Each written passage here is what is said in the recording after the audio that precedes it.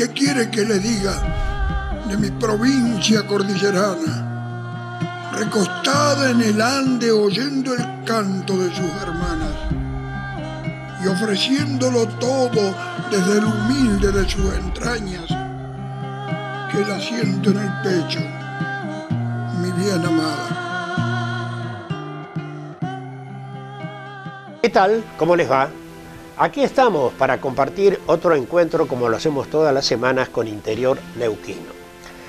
La provincia de Neuquén ya tiene nuevo gobernador, es el señor Rolando Figueroa, y nueva vicegobernadora, la señora Gloria Ruiz, exintendenta de la localidad de Plotier.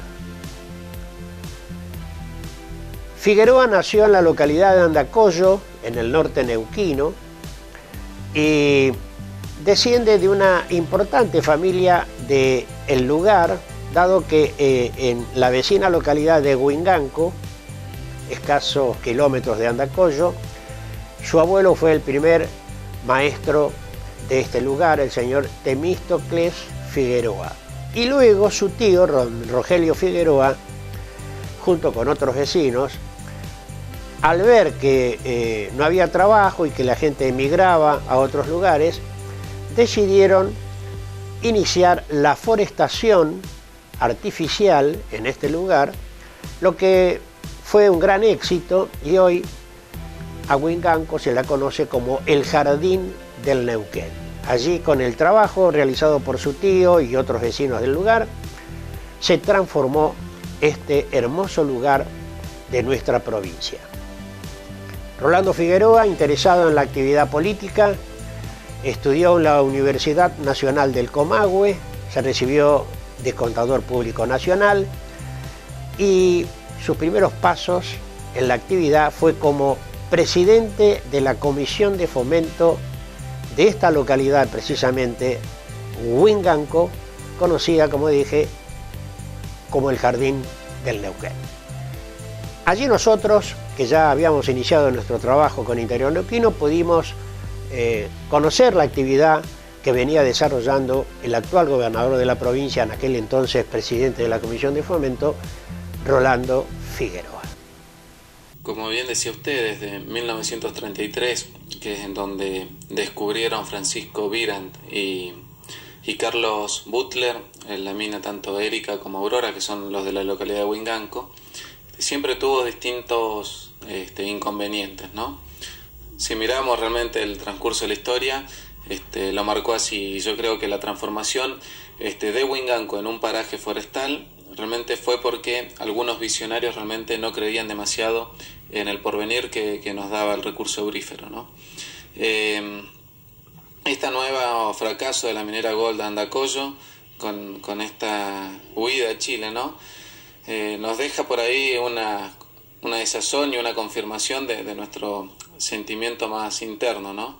Este, realmente es preocupante para, para la economía local. Nosotros teníamos este, personas, alrededor de 12, 15 personas trabajando en ese emprendimiento que hoy por hoy están desocupados, ¿no? Eh, pero nosotros tratamos de ver eh, a Wingan un poquitito más con una visión eh, de mayor cantidad de años en el tiempo. ¿no? Nosotros estamos tratando de trabajar con un Wingan coecológico, este, que realmente sea un paraíso no nuclear. Y esta actividad de alguna manera nos había este, causado ciertos inconvenientes con el tranquilo este, convivir del pueblo y con ciertas contaminaciones al medio ambiente que hemos sufrido en la localidad. Eh, en uno de los arroyos habíamos, concretamente en el Huinganco, habíamos descubierto ciertos derivados del petróleo que nos contaminaban el arroyo, con lo cual la gente que sembraba eh, nutriendo de, ese agua eh, las distintas las distintas siembras se secaba ¿no? por, precisamente por los derivados del petróleo. sumado a esto, nosotros no teníamos una infraestructura como para recibir este, una empresa tan grande que transitaba diariamente este, hacia la mina, con lo cual varios puentes que estaban eh, construidos para determinada cantidad de tonelaje este, no lo soportaban. ¿sí? Este, sumado a esto, por ahí los, los choferes eran, eran de, origen chileno y muchas veces teníamos que este, recordarle las normas de tránsito de este, nuestro país, ¿no? Eh, hemos tenido varios accidentes de tránsito acá con, con, la empresa, con lo cual, si nosotros vemos el impacto socioambiental y lo vemos por ese lado, este, realmente eh, a mí lo que más me preocupa es que Winganco sea ecológico y que todos los productos que salgan de acá salgan con un sello de marca registrada, un producto de origen, que eh, cada consumidor que lo vea en una góndola, a, cualquier producto de Winganco, sepa que es de dónde viene, ¿no? Eh, es lamentable por los puestos de trabajo, pero yo realmente le doy preferencia a, ese tipo de, de emprendimientos que son los productivos. ¿Y qué pasa entonces con la explotación de, del oro y las minas que tiene Winganco? Que eh, a tu criterio no, no deberían explotarse o, o, pensás que esto debería realizarse dentro de normas este, de mayor seguridad ambientales? Eh, ¿Qué opinas al respecto? Yo creo que tenemos que ejercer un, un, control efectivo sobre los emprendimientos mineros, ¿no? Eh, yo creo que se necesita una, una policía minera que tenga mayor presencia eh, en cuanto al cumplimiento de las normas ambientales. Eh, esa es la única manera de, poderlo explotar en Winganco, ¿no? Y, por otro lado, las minas abandonadas o, que ya no resultan rentables, nosotros estamos diagramando un programa de turismo en el cual los tenemos como dentro del recorrido. Este, concretamente en la mina Aurora tenemos ya desde el año pasado diagramado este, una visita de los turistas hacia ese emprendimiento minero. ¿no? Este, la mina Erika podría servir en el mismo sentido. Por ahí sí, sí lo que me manifestaban siempre los empresarios chilenos es que eh, ellos tenían ciertos problemas de seguridad con mina Erika. En el nivel 8 casi tuvieron un derrumbe en una oportunidad, este, con lo cual también de manera turística sería riesgosa. ¿sí? Eh, es decir, estamos a favor de la producción, pero siempre que se respeten las normas ambientales. Y máximo en este pueblo que tiene este, tanta historia de lo que es producción forestal y producción agrícola. Bueno, finalizada su gestión como presidente de la Comisión de Fomento de Huinganco allá por el año 2002, Rolando Figueroa ocupa el cargo de subsecretario de Juventud y Deportes durante la gestión del gobernador Omar Sovich. Posteriormente es elegido diputado provincial en las elecciones posteriores a este acontecimiento que estamos señalando como subsecretario de Juventud y Deportes en nuestra provincia. Bien, vamos a hacer la primera pausa. Estamos un poco analizando y conociendo aspectos que hacen a la vida política del actual gobernador de la provincia, el señor Rolando Figueroa. La pausa y ya retornamos.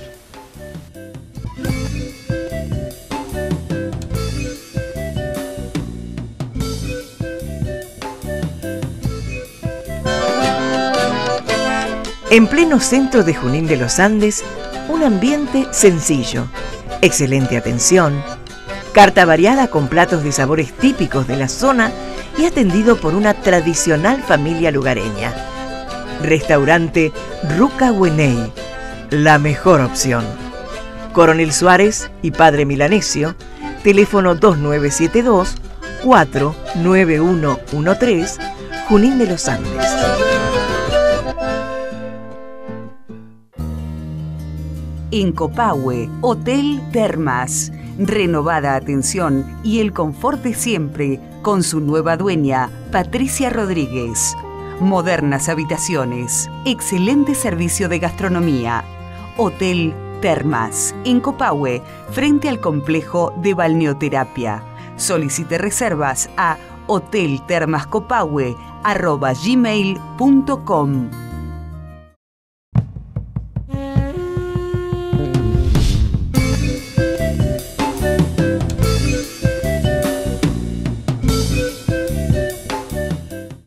Bueno, y prosigamos conociendo aspectos que hacen a la carrera política del actual gobernador de la provincia de Neuquén, el señor Rolando Figueroa. Del 2011 al 2015 ocupa el cargo de intendente de la localidad de Chosmalal.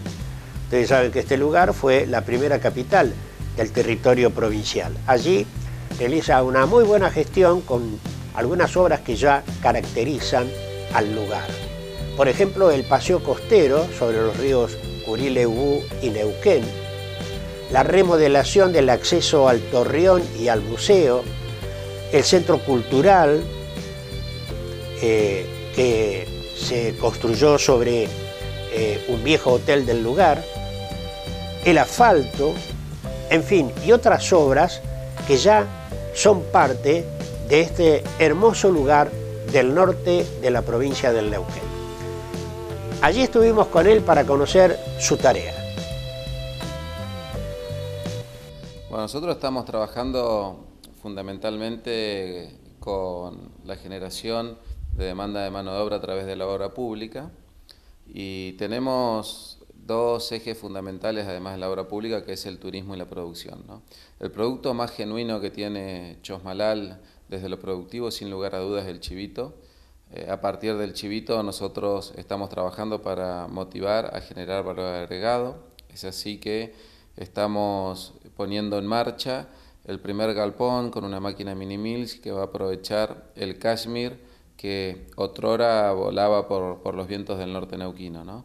Eh, creemos que eso es un valor agregado sumado a la potencialidad de establecer un incentivo ganadero como les corresponde a los crianceros y al faenamiento en establecimiento este, oficial, más la denominación de origen, creemos que la producción caprina del norte neuquino se va a ir encauzando. Por el lado del turismo, nosotros destacamos sin lugar a dudas que tenemos que abrir bien los brazos hacia la Ruta 40, una ruta que tiene un sello internacional y que justamente la mitad de esta ruta se encuentra en Chosmalal, formar parte del producto turístico de la Ruta 40 y ser un ícono físico distribuidor del turismo en toda la, la región norte. Con las distintas obras de infraestructura que se están llevando adelante como rutas y puentes, seguramente las bellezas paisajísticas van a pasar a estar 20 o 30 minutos más cerca de Chosmalal.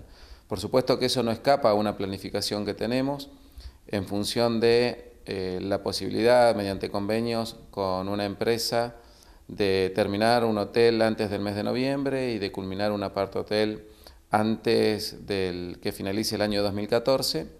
Eso nos genera una posibilidad de brindar servicios, pero también está atado a la posibilidad de reconstruir nuestro casco histórico a partir de lo otro que no se compra en cualquier lugar y que lo tiene Chosmalal, que es el sello de capital histórica y cultural de todos los neuquinos. Con lo cual, nuestra historia y nuestra cultura va a generar un valor agregado importante para nuestra localidad y para nuestra región norte.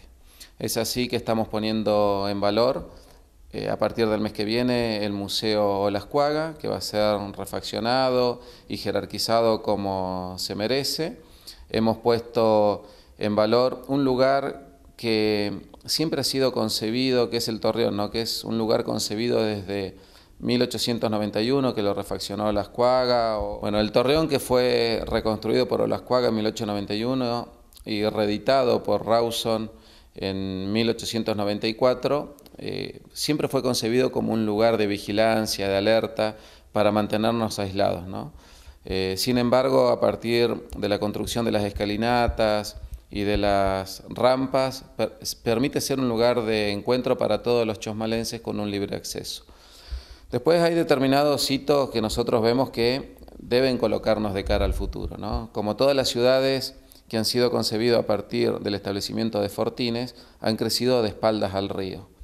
El hecho de la inauguración de la costanera, la puesta en valor del centro cultural, a nosotros nos permite estar la ciudad de cara al río. Hemos cumplido un objetivo que hemos trazado hace mucho tiempo y que hoy todos los chosmalenses lo han adoptado como propio. ¿no?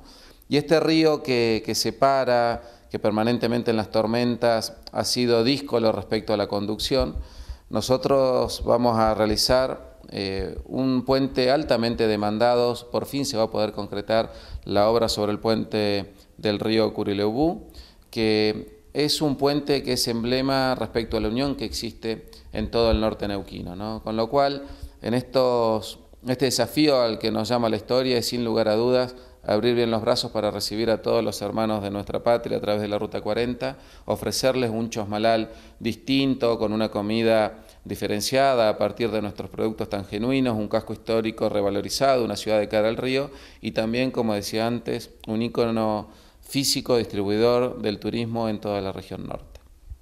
Y una de sus más destacadas tareas fue, eh, de alguna manera, impulsar con otra fuerza la fiesta nacional del chivito, que de alguna forma se constituye en un atractivo turístico y cultural para este lugar que integra a los crianceros su cultura y la posibilidad de este producto tan querido eh, por la comunidad, el chivito. Él impulsó esta fiesta y allí estuvimos para conocer eh, lo que significa ya la fiesta nacional del chivito para este lugar. Eh, pero lo importante es esto, ¿no? que las cosas se hagan, que las cosas se tomen como políticas de Estado, que la gente sepa que esto continúa, que la fiesta ya fue apropiada por todos los chosmalenses y por todo el norte neuquino. No en vano se han cubierto absolutamente todas las plazas hoteleras y también 550 casas alquiladas en Chosmalal, ¿no? Yo creo que es un fenómeno que se ha ido originando y que quedó, llegó para quedarse. La principal fiesta, yo creo, de la provincia, la que tiene más, eh, la que está más arraigada, la que tiene más historia, la que tiene de por sí mucha gente trabajando por detrás, ¿no? Y lo que vimos de este fenómeno, que nuevamente somos el segundo año consecutivo, que el fin de semana largo somos el destino más elegido de la provincia. Em, ha coincidido también el traslado de este feriado. Bueno, así que yo creo que nos ha premiado eh, la gente, nos ha premiado la naturaleza con estos, estos días que nos ha brindado y nos ha premiado Dios con la posibilidad de que todo lo que hemos soñado lo hemos podido concretar. ¿no?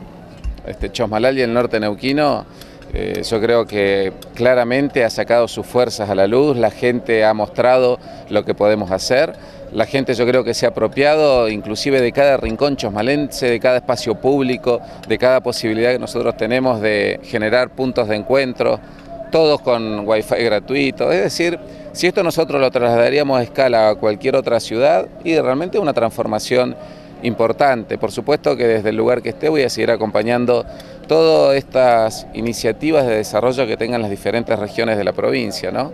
Eh, el rol de vicegobernador es muy especial, sí, también. ¿no? Uno de alguna manera impone un impasse en la labor ejecutiva que tiene un intendente, pero sí vamos a estar presentes en cada una de las acciones de gobierno y fundamentalmente también lo lindo que tiene la política es que uno puede eh, volcar distintos pensamientos y líneas de acción a través de distintos representantes que ha elegido eh, popularmente cada una de las ciudades y vamos a estar apoyando, como antes dije, cada una de las regiones y de las ciudades, pueblos, localidades y parajes de esta, provincia.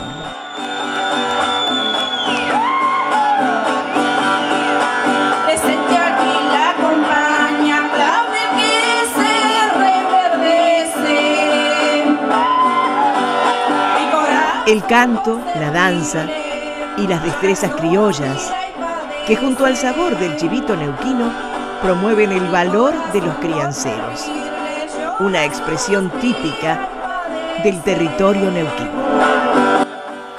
Bueno, y luego de su paso por la intendencia de Chosmalal, Figueroa de alguna manera integra como eh, las autoridades del movimiento popular neuquino como presidente de la convención del partido y a posteriori integra la fórmula Omar Gutiérrez, Rolando Figueroa, que son los ganadores de las elecciones provinciales entre el 2015 y el 2019. Durante esta etapa no hubo muy buena relación entre el gobernador y el vicegobernador. Rolando Figueroa continúa su trabajo y antes de, abandonar el puesto de vicegobernador ya eh, intenta lograr un lugar para poder ser gobernador de la provincia dentro de la estructura del partido del Movimiento Popular Neuquino. Bueno, y Rolando Figueroa pierde las elecciones partidarias en ese momento y se crea la fórmula Omar Gutiérrez Marcos Kopman. Luego es electo diputado nacional, cargo que ocupó hasta el pasado 10, que asume como gobernador de la provincia de Neuquén. Vamos a hacer una nueva pausa y ya retornamos.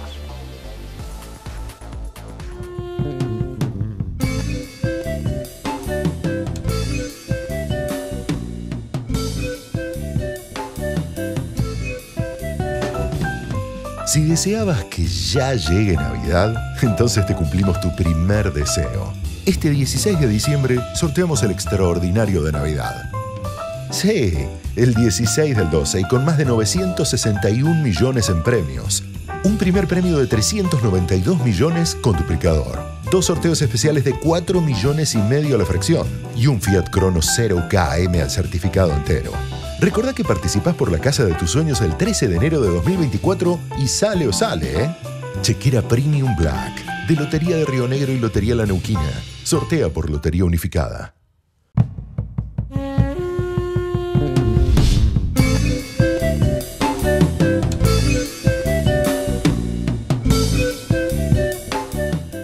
Prosigamos entonces conociendo aspectos de la vida política del actual gobernador de la provincia, el señor Rolando Figueroa. Eh, siendo diputado nacional, un grupo de partidarios le ofrece la candidatura a gobernador o le propone que sea candidato a gobernador. Y bueno, esto de alguna manera se conversó eh, y las autoridades partidarias no hicieron eco a los reclamos de Figueroa y nombró la fórmula Marcos Kopman Ana Pechet. Figueroa entonces decide ir por fuera de la estructura partidaria con otro grupo conocido como Comunidad. Se incorpora a Gloria Ruiz, que era intendente de Plotier como vicegobernadora, y se inicia una nueva campaña con la pretensión de que Rolando Figueroa y Gloria Ruiz fueran el gobernador y la vicegobernadora en las elecciones del 16 de abril del corriente año. El triunfo y de alguna manera la posibilidad de gobernar la provincia. Nosotros estuvimos en Añelo durante la campaña de Rolando Figueroa y conocimos su propuesta de aquel entonces. Bueno, nosotros nos conocemos de tantos años, dado vuelta, desde que eras intendente en Huinganco. ¿eh? Desde aquel año. Bueno, ¿qué te parece esta reunión?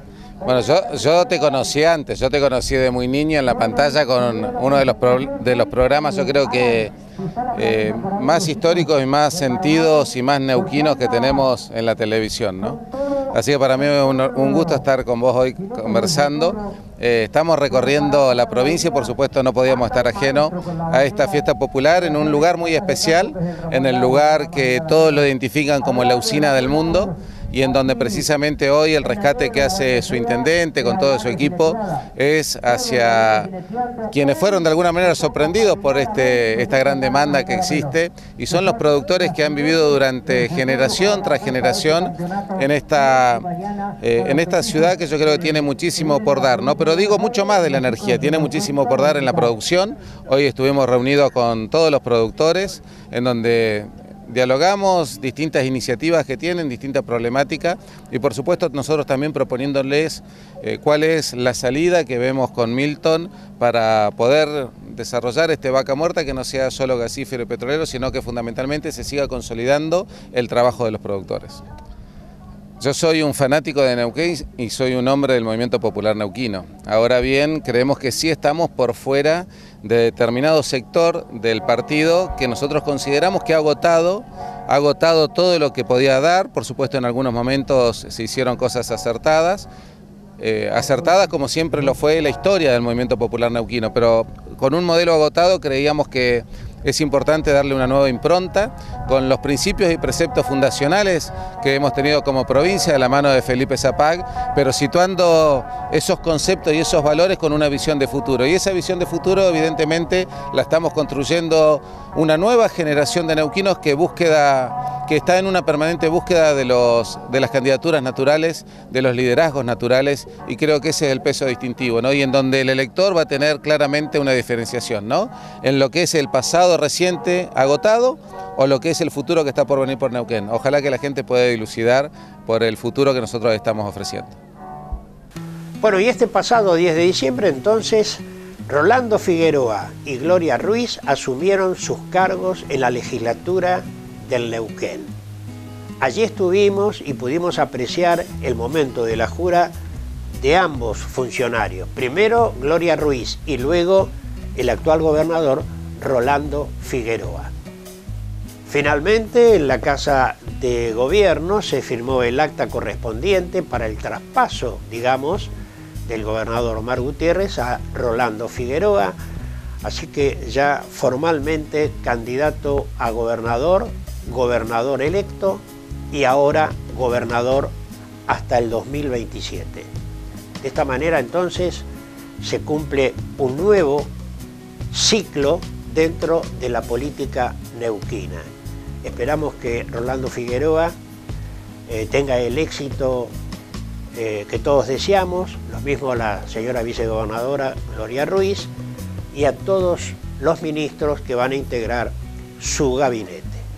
Muchísimos éxitos y sigamos eh, trabajando para que la provincia de Neuquén siga creciendo como lo ha hecho en estos casi 67 años de provincialización. Por hoy nada más, nos reencontramos la próxima semana como siempre. Muchísimas gracias.